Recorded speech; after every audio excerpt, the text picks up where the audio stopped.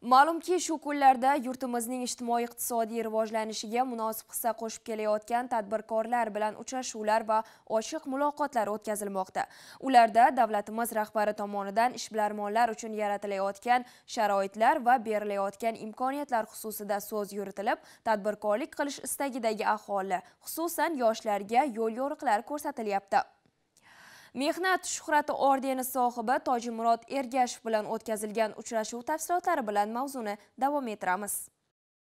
Mamlakatimizda o'tgan bir yilda kichik tadbirkorlar soni qirq mingtaga o'rta tadbirkorlar ikki mingtaga yirik korxonalar soni esa to'rt yuztaga ko'paygan. Berilgan yengilliklardan foydalanib bir yilda bir yuz ellik beshta korxonaning yillik aylanmasi yuz million dollardan oshgan. Kiritilgan yillik xorijiy sarmoyalar hajmi esa ilk bor o'n milliard dollarga yetgan. Bu kabi o'sish sur'atlaridan ko'rish mumkinki biznes uchun qulay muhit natijasida yurtimizda tadbirkorlik izchil rivojlanmoqda. Yaratilayotgan qulayliklardan o'z biznesini rivojlantirish rivojlantirib borayotgan ishbilarmonlardan biri bandixonlik tadbirkor mehnat shuhrati ordeni sohibi tojimurod ergashevdir. Tumandagi o'n yettinchi ayrim fanlar chuqur o'rganiladigan davlat ixtisoslashtirilgan maktabida bo'lib o'tgan uchrashuvda tadbirkor sohadagi yangiliklar berilayotgan imtiyozlar va biznesdagi muvaffaqiyat sirlari haqida yoshlarga so'zlab berdi.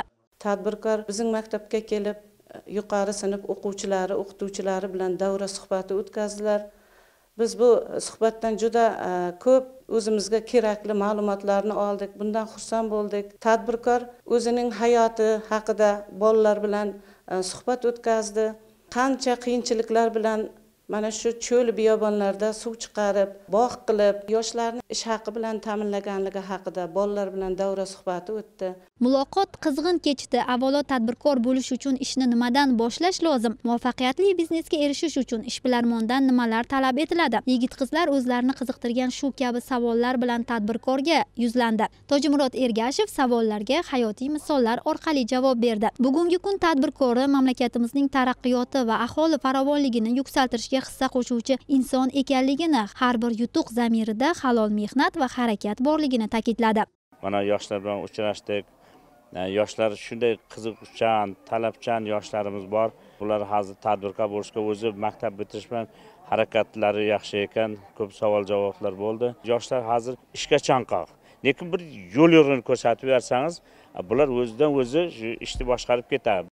Davlat rahbari boshchiligida xususiy sektorga qaratilayotgan e'tibor berilayotgan imkoniyat va imtiyozlar bugun har bir tadbirkorga shijoat va g'ayrat bag'ishlayotgani ham ayni haqiqat. O'ttiz yetti gektar hozircha yerim bor. Shularga intensiv bog' yaratish uchun e, qo'ldan kelgancha harakat qilyapman hozir mana o'n gektar limonada qilaman deb ishlarni boshlaverdim yangi o'zbekiston qahramonlari deganda tadbirkorda. Bundan bir besh yil oldin yo'q edi tadbirkor.